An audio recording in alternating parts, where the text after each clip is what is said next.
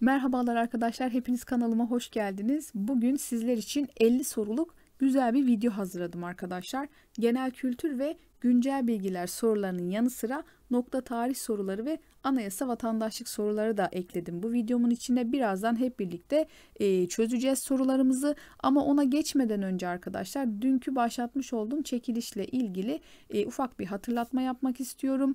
E, bilenler biliyor ilk defa duyan arkadaşlarım için e, arkadaşlar dün çekilişimiz başladı. E, bir hafta süreniz var e, ve yapmanız gereken KPSS sorularımız e, isimli Instagram sayfamdaki açıklama bölümündeki linkten de ulaşabilirsiniz. E, sayfamı takip etmeniz, iki arkadaşınızı etiketlemeniz ve yorum bölümüne data yazmanız yeterli olacak arkadaşlar. Bununla birlikte çalışmalarınız nasıl gidiyor? Gerçekten çok merak ediyorum arkadaşlar.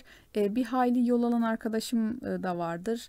E, yeni başlayan ya da başlamayı düşünen e, ya da şimdi başlasam acaba yetiştirir miyim diyen arkadaşlarım da eminim ki vardır.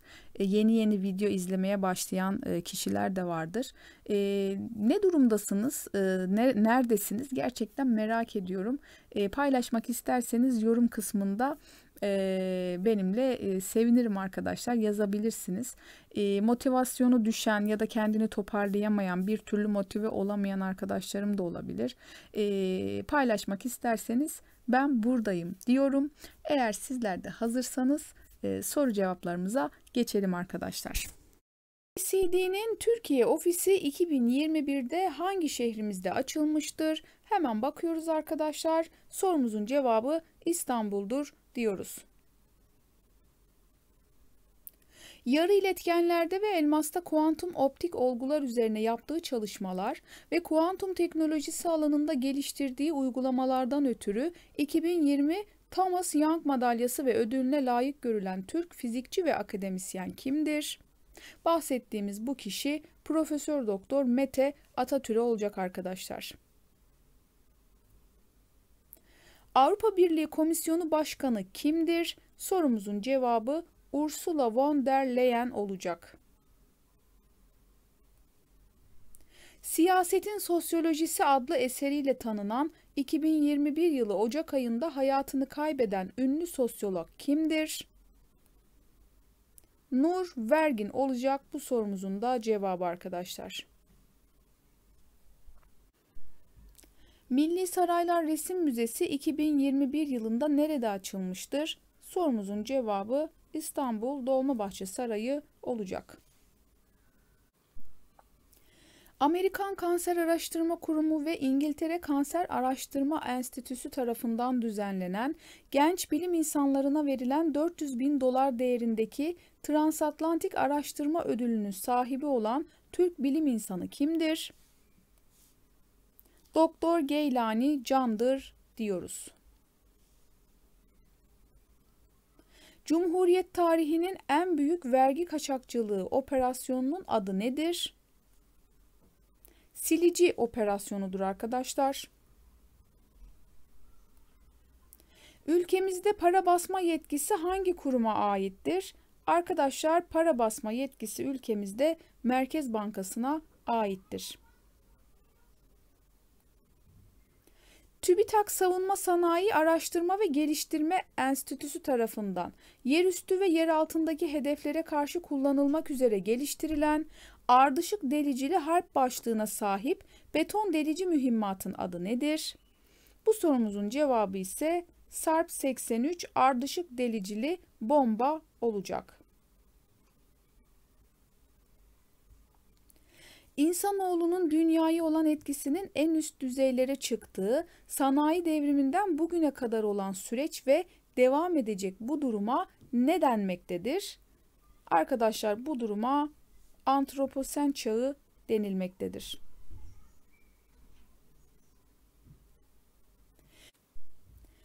Birleşmiş Milletler Mülteciler Yüksek Komiserliği'nin kuruluş amacı nedir? Arkadaşlar kuruluş amacı mültecilerin sorunlarını gidermek, haklarını, refahını savunmak ve mültecileri korumaktır. Birleşmiş Milletler Mülteciler Yüksek Komiserliği 2. Dünya Savaşı sonrasında 1950 yılında evlerini terk etmek zorunda kalan milyonlarca Avrupalıya yardım etmek amacıyla kurulmuş olan bir kuruluştur diye de ekleyelim. 2021 Dünya Ekonomi Forumu zirvesi Davos yerine nerede yapılacaktır? Arkadaşlar sorumuzun cevabı Singapur olacak. Dünya İzleme Enstitüsü'ne göre dünya üzerinde yaşayan en önemli canlı türü nedir? Bu sorunun cevabı ise arılar olacak arkadaşlar. Dünya üzerinde yaşayan en önemli canlı türü Dünya İzleme Enstitüsü'ne göre arılarmış. Önemli yapıtları arasında Avignonlu Kızlar, Guernica gibi eserleri yer alan Kübizmin kurucusu kimdir? Böyle bir soruyla karşılaşırsak cevabımız Pablo Picasso olacak diyoruz. Milli mücadele dönemini konu edinen Zeybekler tablosu hangi ressama aittir? Zeybekler isimli tablo İbrahim Çallı'ya aittir arkadaşlar. 2021 yılında yapılması planlanan ancak 2022 yılına ertelenen 19. Akdeniz oyunları nerede düzenlenecektir? Cezayir'de düzenlenecektir arkadaşlar. Avrupa'nın en büyük doğal yaşam parkı nerede bulunmaktadır? Bu sorunun cevabı ise Ormanya, Kocaeli olacak. TürkSat 5 ayı uzaya gönderen şirketin adı nedir? Arkadaşlar bu sorunun cevabı ise Elon Musk'a ait olan SpaceX şirketi olacak. Sırbistan'da düzenlenen uluslararası Sanja Pavlovic piyano yarışmasında birinci olan Türk müzisyen kimdir? Bahsettiğimiz bu Türk müzisyen Nehir Özzengin'dir diyoruz. Ülkemizde 2020 yılında son olarak milli park ilan edilen yer neresidir? Hakkari, Cilo ve Sat Dağları'dır. Türkiye Cumhuriyeti'nin ilk Milli Eğitim Bakanı kimdir? Rıza Nur olacak bu sorunun cevabı. Dinamitin mucidi kimdir? Arkadaşlar dinamitin mucidi Alfred Nobel'dir. Kolombiya Üniversitesi tarafından gazetecilik, edebiyat ve müzik gibi alanlarda verilen Amerika'nın en büyük ve prestijli ödülü kabul edilen ödül hangisidir? Bahsettiğimiz bu ödül Pulitzer ödülleri arkadaşlar 19. Yüzyıl, yüzyılda Joseph Pulitzer adlı bir gazeteci tarafından kurulmuştur. Ödüller 21 kategoride verilmektedir. Ege bölgesinin tek volkanik dağı olan Kula Volkanı hangi ilimizde yer almaktadır? Sorumuzun cevabı Manisa olacak arkadaşlar. Modern anlamda dünyanın ilk yazılı anayasası kime aittir? Amerika Birleşik Devletleri'ne aittir diyoruz. Türkiye'de rüzgar santrallerinin en çok bulunduğu bölge hangisidir? Ege bölgesindedir arkadaşlar en çok rüzgar santralleri. Türkiye'nin 1932 yılında üye olduğu Milletler Cemiyeti'nin ilk temsilcisi kimdir? Bu kişi Cemal Hüsnü Taray'dır diyeceğiz. İlk Osmanlı Bankası olan Bankı Der Saadet kimin döneminde açılmıştır? Sultan Abdülmecit döneminde açılmıştır arkadaşlar. Osmanlı Devleti'nde posta teşkilatı hangi padişah döneminde kurulmuştur? İkinci Mahmut döneminde kurulmuştur. Arkadaşlar 2. Mahmut'un e, adının geçtiği her videoda yine hatırlatıyorum. Bundan önce de hatırlattım. 2. E, Mahmut'un yapmış olduğu yeniliklere şöyle bir e, zaman ayırmakta fayda var. Türkçe'ye gereken önemin verilmediğinden bahseden Garipname adlı eser kime aittir? Arkadaşlar Garipname isimli eser Aşık Paşa'ya aittir diyeceğiz. Bir ülkede yetkili bir makam tarafından konulan ve yürürlükte bulunan yazılı hukuk kurallarının tümüne ne ad verilir? Arkadaşlar e, bu e, hukuk kuralların tümüne mevzu hukuk diyeceğiz. Parlamento kararları hangi durumlar haricinde kural olarak Anayasa Mahkemesi'nin denetimi dışındadır? Hemen bakıyoruz arkadaşlar. Meclis iş tüzüğü, milletvekilliği dokunulmazlığının kaldırılması ve milletvekilliğinden çıkarılma kararları olacak. Açık oylamanın zorunlu olduğu haller nelerdir? Arkadaşlar af önergeleri, seçimlerin yenilenmesi, bütçe ve kesin hesapların kabulü, milletler arası antlaşmaların onaylanmasının uygun bulunmasıyla ilgili oylamalar açık oylamanın zorunlu olduğu hallerdir diyoruz. Peki gizli oylamanın zorunlu olduğu haller nelerdir? Hemen onlara da bir bakalım. Anayasa değişikliği tekliflerinin oylanması Türkiye Büyük Millet Meclisi başkanlık seçimi, Yüce Divan'a sevke ilişkin oylama, milletvekilliğinin düşmesiyle ilgili kararlar, Anayasa Mahkemesi'ne üye seçme ve kamu baş denetçisinin seçimi de gizli oylamanın zorunlu olduğu hallerdir diyeceğiz arkadaşlar. Valiler hakkında yapılacak cezai soruşturmalar hangi merci tarafından yürütülür?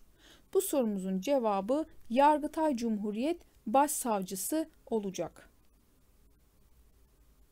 Hakkında soruşturma açılan bir belediye başkanını geçici olarak görevden uzaklaştırma yetkisi kime aittir?